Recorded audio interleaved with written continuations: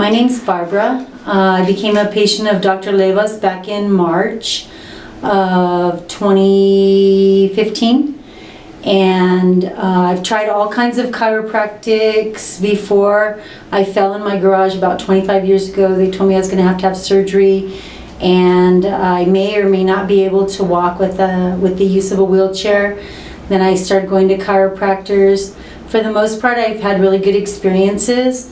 In the past, probably seven or eight years, my experience have not been that good um, because every chiropractor that I've been to has told me kind of a different story.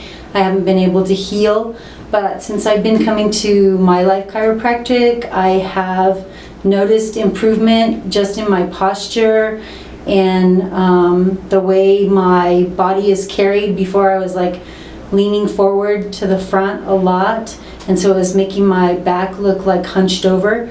Um, now I'm walking straight. Dr. Leva's awesome. His staff is awesome. I'm so glad I found this place because I really do feel like it was a lifesaver for me. My daughters also have some problems with their posture, and that um, precipitated like some other issues for them. And so they've been coming to, and it's just a great place to get well. It's very holistic. It's manipulation, but he also tells you how you can improve your diet and your exercise and do all the things you need to do to help yourself. So it's great. I highly recommend it.